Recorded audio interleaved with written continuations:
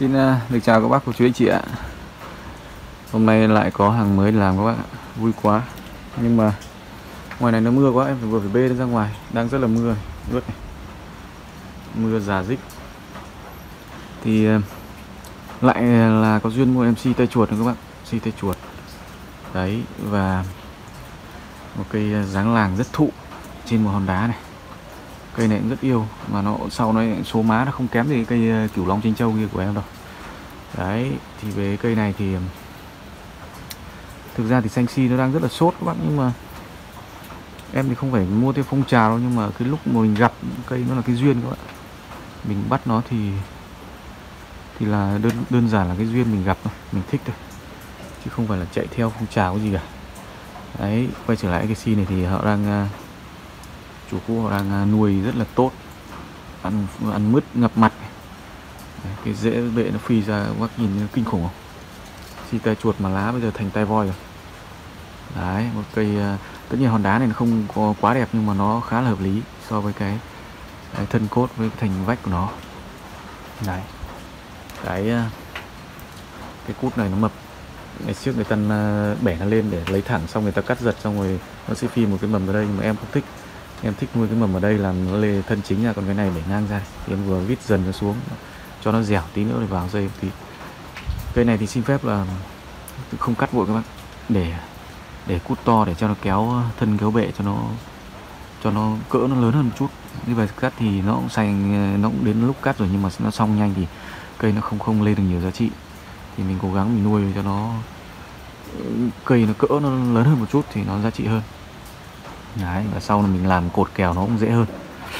Đấy, cột kèo thành vách nó dễ hơn. Các bác ạ đấy, thì bây giờ có lẽ là cành này là em phải cắt rồi. Em em phải cắt cành này. Vít ra cắt và còn lại níu dây lại những cái chỗ này. Gỡ dây và cắt lá đi thôi, chứ không không không cắt cút các bác nhé. Để cho các bác xem nó rõ ràng một chút các bác ạ. Đấy, đá này. Đá. Ờ, không không rõ là có phải đá nguyên khối không nhưng mà à, có vẻ như là đá nguyên khối các bạn. Có vẻ đá đá nguyên khối. Nhìn thì cảm giác như là xếp nhưng mà thực tế là nó nguyên khối các bạn. Nguyên khối. Có thể là viên này thì cài thêm thôi. Đấy nhìn này ăn vào đá này. Đấy thôi thì bây giờ tôi tôi làm và tôi vẽ bóng nó ra tí cho các bác nhìn nó rõ nhé. Đấy cái mặt là chính nó phải như này hiện tại chậu nó đang ờ, trồng hơi lệch này. Đá như này thôi. Mặt chậu là như này nhưng mà mặt chính thì như này. Nhìn hết chiều sâu. Những cái cây dáng làng các bác nhé. Mà thành vách nó, nó quá nhiều ờ, góc cạnh quá nhiều ấy chiều sâu cho nên các bác quay phim rất là khó nhìn hết. Nhưng mà những cây trực những cây ờ, cỡ béo ấy, thì thì thì thì các bác lại có thể nhìn qua phim ảnh nó hết được. Đấy. Thì thì uh, thôi em ờ, cứ vặt nó ra để các bác xem nhé.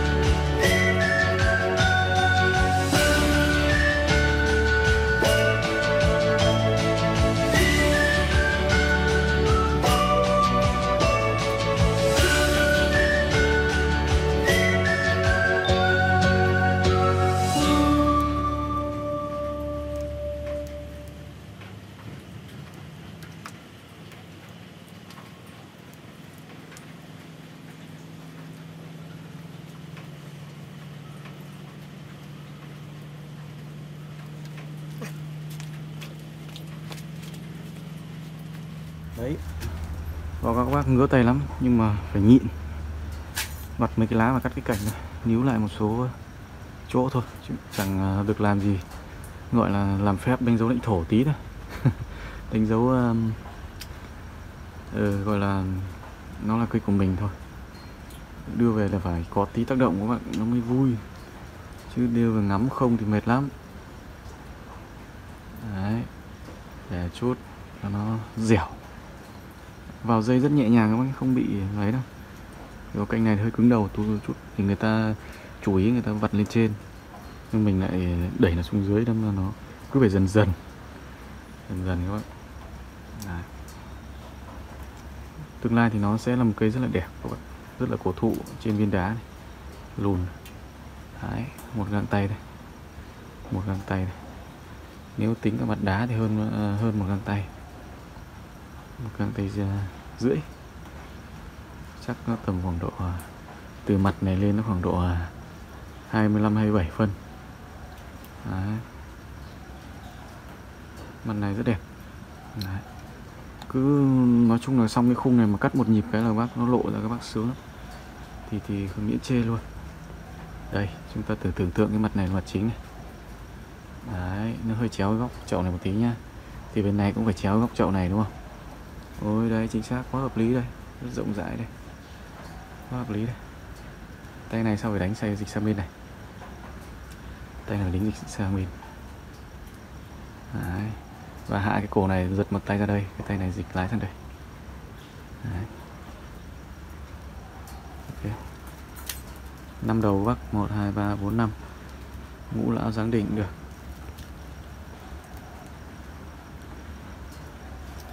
Ok các bác, khoe thế thôi. Chẳng có được cắt gì nhiều. Cứ cắt được nhiều sướng các bác nhỉ. Khoe này không cũng ngứa tay. Nhưng mà cố gắng kiên trì các bác nhé. Vì cái tương lai một cây nó đẹp thì cố gắng. Rồi, em cũng đang luyện cái độ nhịn nó dần này. Cứ càng nhiều cây thì mình càng càng nhịn được nhiều các bác. Chứ một nhà có một hai cây thì không nhịn được đâu.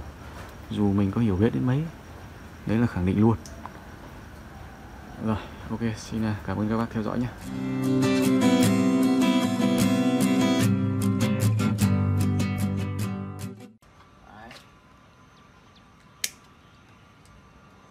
Xin lỗi à, chủ cây cũ là, là, là không giữ lời hứa. Không giữ lời hứa. Hứa với lòng là không được cắt ừ, để nó mới lên được giá trị nhưng mà mình sống được ngày nào mình cố mình cố lấy.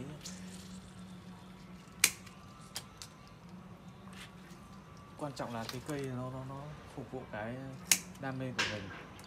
Mình à, cố chờ đợi thì cũng tốt thôi nhưng mà biết đâu ngày mai nó như nào đúng không?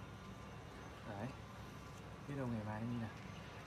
À, thì cũng à, xin phép anh em là hôm nay là nở bonsai là N2T bonsai là là là là, là cắt mà có bạn đến thăm thế là Đấy. cũng cũng quay giúp là N2T bonsai. Có gì thì anh Xong em rồi. đóng góp ý kiến. Có vậy thôi.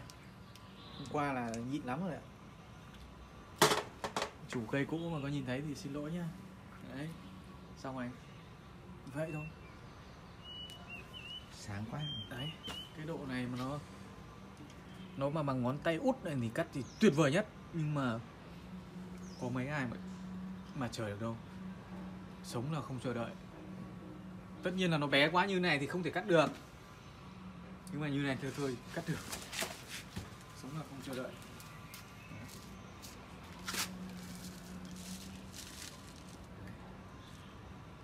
Một năm nữa hẹn anh em gặp lại thì chắc không nhận ra cây này đâu. Khủng luôn đẹp. Không nhận ra cây này đâu không nhận ra đâu